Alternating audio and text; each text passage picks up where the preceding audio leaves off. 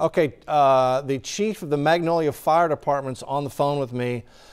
Uh, chief, what can you tell me about that house uh, under construction that collapsed up there, and how are you guys doing up there in Magnolia? Yes, sir. So approximately an hour ago, we had, as most of Southeast Houston had, quite the uh, wind and storm come through. We had uh, approximately three homes that were under construction.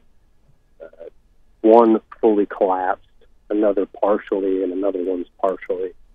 Uh, we had some workers on site notified 911 emergency that they had a potential uh, victim trapped uh, on scene. So the Magnolia Fire Department uh, responded, arrived on location, did in fact have collapsed buildings, uh, began to uh, search for victims and gather information to figure out what we need to do next. We asked for assistance from the Woodlands Fire Department, Conroe Fire Department, North Montgomery County Fire Department, along with the Montgomery County Hospital District and uh, uh, Montgomery County Sheriff's Office. So they're all on scene with us, helping to uh, investigate and determine if we can locate any victims uh, potentially in these collapsed structures. Yeah.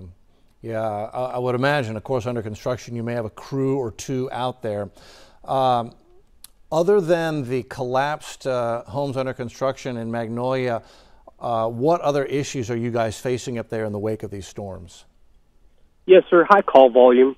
A lot of call volume right now uh, throughout the county. Uh, stuff like this comes through. Obviously, uh, there's a lot of 911 emergencies, whether it be anything from utility issues structure fires, medical emergencies, mm. even lake rescues that occur. And so uh, the the Montgomery County Emergency Service, in a whole, has uh, received just a, a, large amount of call volumes, which is uh, which thankfully all the units in Montgomery County are working together and helping one another out, make sure we're uh, providing service to all these incidents. All right, that's Chief Adam Volgamont with the uh, uh, Montgomery County Fire Department. Thank you for the Magnolia uh, Magnolia Fire Department. Adam, thank you. Units can return to normal operation for fire calls on normal radio channels.